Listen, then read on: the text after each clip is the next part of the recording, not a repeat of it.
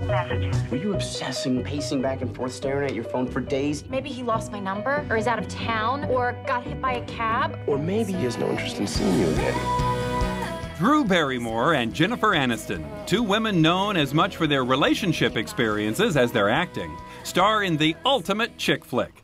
He's just not that into you. So you think it's great that they're getting married, but you don't ever feel like we're going against nature by not getting married? No. Going against nature is like the cat who suckled that monkey.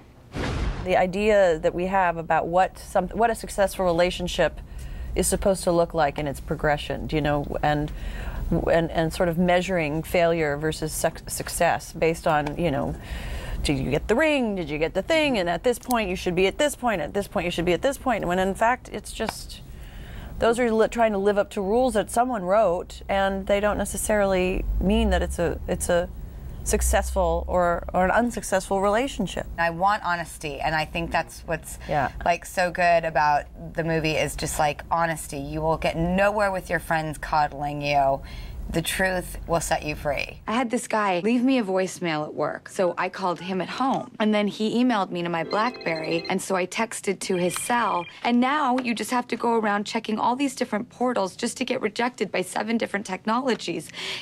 It's exhausting.